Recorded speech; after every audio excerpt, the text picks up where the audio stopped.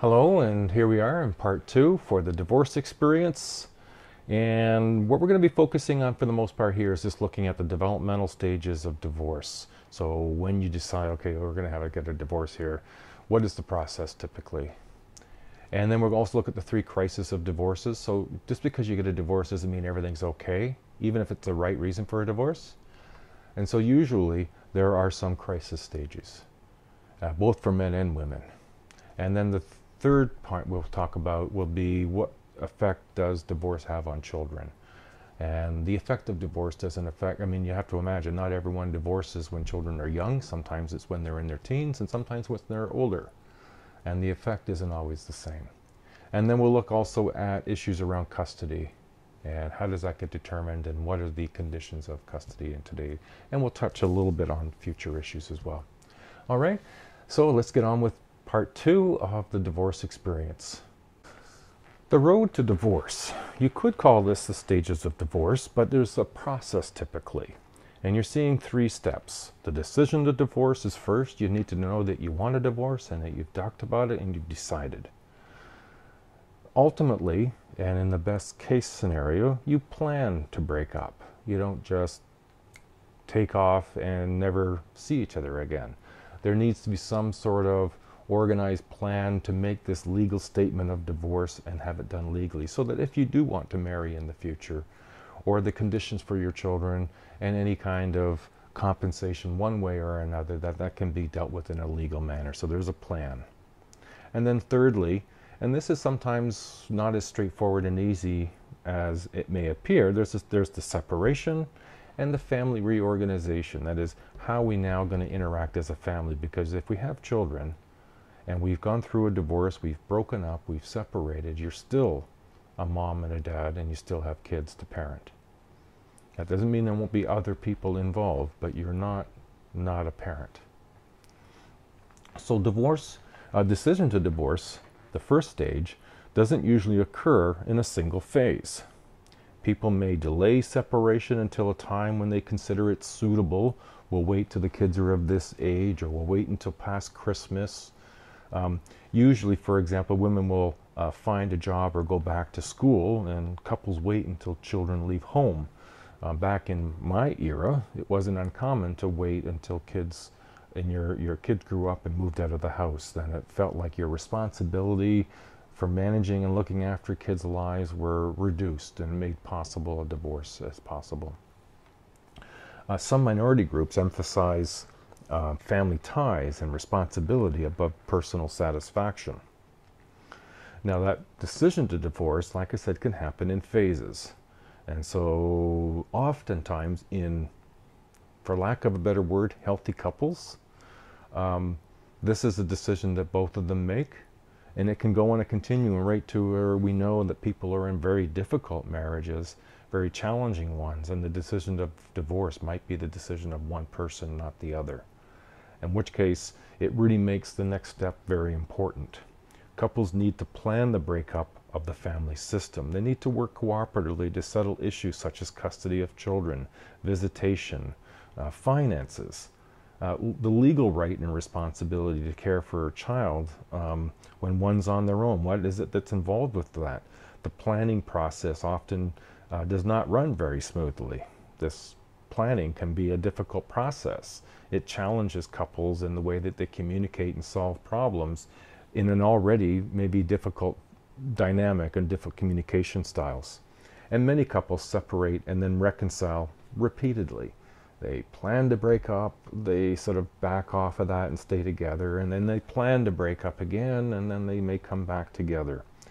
Now, certainly with families and again, I'll use the term healthy, and that's not maybe the most ideal word to use when you're talking about divorce, but there can be good divorces. And there can be people who know that this isn't working out, and then for the best interest of themselves and their futures and the relationship they want to maintain and their children, they plan in a manner that's as good as can be under those kinds of circumstances. And then, of course, there's other couples where if it's one person who's in a very difficult relationship, a woman, for example, and she wants to get out and she plans for the divorce, she needs to make sure she has a place to move to, that her kids are going to be safe, that there's money, that there's some manner in which to be protected and safe, and that could take some time. So these the plan for breakup could be something that takes more time than some people are prepared to take. And then the third stage, separation and family reorganization. Well, separation changes the relationship between husband and wives. Couples with children need to decide how to coordinate the responsibility as co parents. If they're going to be co parenting, not all separations are planned in that manner. Uh, but it's healthier if both parents can remain involved, particularly if both parents can remain involved and not um, not sort of talk badly about the other parent to the children when that other parent isn't around. It's important that the parents remember that the children didn't cause the divorce. It's, it's an issue between parents. Um, many feel joint custody is best for children, and this is sort of a co parenting role, if you will. One will have custody, but the joint custody will be a shared responsibility. When both parents are involved, children act as links, if you will, between the two connected households. They become the binuclear family, it's called. A binuclear family is when, in this case, you've got children who bounce from one home to another home, whether it's mom and the family children, and dad and his, um, his own self bouncing back and forth. That makes it binuclear. But if mom and or dad both get remarried and have children, then that ch- the children who bounce back and forth still make that a binuclear family. Now, crisis for of divorce, and, and this is very typical for both men and women. They may experience these crises different, but they experience these crises nonetheless. Divorce produces what is called transitional states, temporary imbalance to routines, to roles. I mean, when you go through a divorce, mom or dad, you're no longer a couple. So now mom is mom and dad while they're at home. Dad is dad. When he sees them, he's parenting, and when he doesn't see them, then it, it varies from certainly from father to father, but then that that role of father starts to alter, and the routines and how you know how we have dinner and how we go to bed at night and uh, how we celebrate um, uh, holidays, these routines all change. So the three crises emotional, economic, and parenting. The emotional crisis during and after the separation process, individuals suffer the loss of an important relationship. Whether you're happy or unhappy, going through the divorce changes things. Even if it was a bad relationship, change is sometimes difficult for people to adjust to. And so there's an emotional um, experience associated with that. Oftentimes you could rec- you could sort of look at it in some sort of way as a process, as as um, uh, someone dying. Uh, there's a uh, grieving process, and that's an emotional crisis. Often uh, um, has served um, the relationship often serves as a center of their lives, and whether it's been satisfactory or not, that relationship was the center of one's life. Separation and divorce usually means the individuals have to redefine themselves as people. You know, I was a single, then I was a couple, we became a we, and now I'm a single and we're not a we. And that sort of shift is an emotional adjustment that needs to be made. With the growing number of divorced people, new social scripts are being developed. Relationships with extended family members change. Many have limited supports uh, from their own relatives with strong religious beliefs. You know, now, you know, the religious component of different families that are involved in the relationship can come into play. You know, that you're not supposed to divorce. This is not something that works well with us. And so those other issues become important and and trying emotionally. They may um, may long for a connection to the ex uh, spouse or relatives who are no longer legally related. And I've seen this example before where families, because they've broken up, um, the the partner that is no longer in the household often feels a loss of that their former partner's family, which they may have had a good relationship with. Um, they must adapt and it's about a two year ad- adaptation uh, post divorce. most adapt about two years after. So when you think of examples where people have gone through a separation and divorce and then find themselves in a new relationship shortly after that, they haven't experienced the emotional crisis thoroughly enough and allowed it have chance to sort of subside and then resolve it before starting a new relationship in which case you're bringing in a whole lot of emotional experiences that this new person isn't the isn't the desire isn't the design recipient of um, within six years, most have built a reasonably satisfying life, whether that is with somebody or on their own. You can look at the table in your text, uh, table 10.3, and look at the patterns of adjust adjustment to divorce. Now, the economic crisis, uh, this is, divorce is very expensive, and um, it usually means a drop in a standard of living, especially for the custodial parent both parents are, reason, are, are responsible for the support of the child or children. If the non custodial parent, which is usually the father, doesn't have a steady job or, is or has disappeared, the family may be reduced to living on welfare. And so, this one, the experience is usually more difficult on women economically. And so, women tend to have a double whammy in particular because of the emotional crisis. It's, and again, it's not to say that you know women are emotional it's to say that you're breaking up a, a relationship uh, that once was at some point good and now it's not so good so bad in fact that you want a divorce and then the economic cri- uh, crisis of if you, unless you have your own work even if you do you're now paying for childcare or arranging for childcare um, paying for all the household uh, expenses yourself it becomes a very expensive ordeal not to say that that's a reason not to divorce, it's something to prepare for. And then, thirdly, is parenting. When a family separates, new boundaries must be drawn. Old family rules and rituals no longer exist, and new ones have not yet taken their place. Each parent needs to establish a relationship with the children separate from each other. If there's no clear understanding of the new rules of the relationship, children are likely to become victims of conflict between parents. Divorcing parents may be unable to respond to their children's emotional needs. Now, if you look on in your textbook, I think it's around 227, page 227, uh, there's an effect that's called the sleeper effect. And you can check that out to see what is meant by the sleeper effect as it affects children.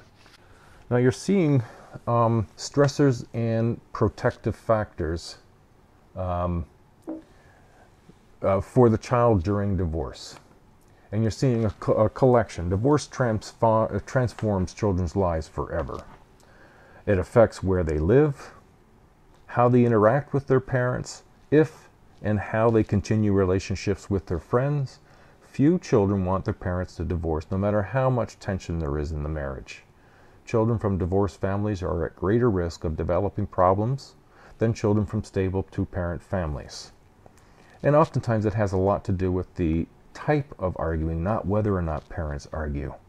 Is how fair do they argue? You know, do arguments end and end in a managed way where there's a solution? However, most do not, as um, the age of the child plays very important role in how they manage a divorce. Very young children are less likely to be affected long term by divorce if they receive good parenting. Divorce may affect boys and girls differently, and that kind of makes sense. Levels or level of parental conflict pre separation and post separation impacts the adjustment more than the absence of a parent. So pay attention to that. The level of parental conflict, that if parents conflict and argue regularly before the separation and after the separation, that has more impact than whether or not a parent leaves the house and moves out. So it's what they witness. If they witness the arguing and a lot of it and a lot of negative experience, then it's that's worse than when a than if a parent needs to leave and then they have a separation and divorce. The number and degree of life changes, I, you know, access to extended family members, the nature of new parenting relationships. There's many issues um, that affect uh, the child going through a, a divorce. And a, rem- a reminder that it's not the child who causes the divorce. Now, custody and parenting about who gets custody. Well, the current standard used is this, is what's in the best interest of the child. Now, there there have been different standards in the past, and there will be different standards likely in the future. Currently, it's what's in the best interest of the child. If you sit in a family court and listen to the judge, the judge should be, and usually are, interested in not who's right and who's wrong, but what, are the, what, what is in the best interest of the child, and that's where the focus needs to be. Mothers are usually still granted custody, although more fathers have been gaining custody, and joint custody has been more common in, in separation and divorces. Children can and do, unfortunately, become pawns in the angry fighting between parents still. So if we carry on with custody, there's two problem, two major problems that arise out of custody conflicts. One is failure to comply with support orders, whether that's um, the mom or the father failing to comply with what the court says they need to be doing in support of the children, and with the custody provisions, the uh, amount of money that goes or the kind of conditions by which the uh, divorce has been granted for. The provinces are responsible for enforcing child support orders. Some parents try to prevent visits if support is not paid. You're not allowed to do that. Occasionally, a non custodial parent takes the law into his or her own hand and kidnaps the child.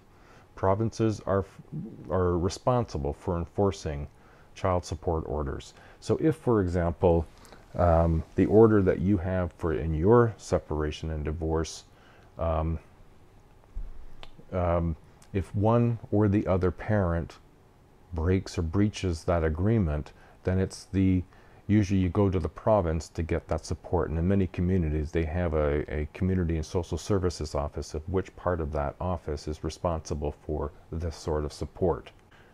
When we continue on with um, custody and parenting, and we see parents without the custody, this is um, most non-custodial parents are men. When the marriage is broken, men are sometimes at a loss as to how to manage the father child relationship on their own. They've been so dependent in many cases on the his his wife or the woman in the relationship to take on the child rearing and child responsibilities that when men start looking after the child for small periods of time or larger periods of time that's not familiar there's a great deal of pressure in society for mothers to assume custody of their children following a breakup of a marriage. There is some degree of stigma attached to mothers who refuse custody of their children, and perhaps refuse is a strong issue. I mean, mothers do have many reasons why they may not choose to parent their children after. They may have other ways of, or might be a, you know, a goal to try to get themselves in a better position so they can assume the responsibility of their children later. So in the future, what might be? Well, predictions that in the future at least half of all marriages will be dissolved. The implication of something like this is well, how do we best ensure the healthy development of children living in divorced families? Children tend to do best when they have continuity in the relationships and have regular contact with both parents and extended families. Children also need to be assured of adequate financial support. Achieving this demands serious commitment of both parents to the welfare of their children. Also requires effective enforcement of laws as backup.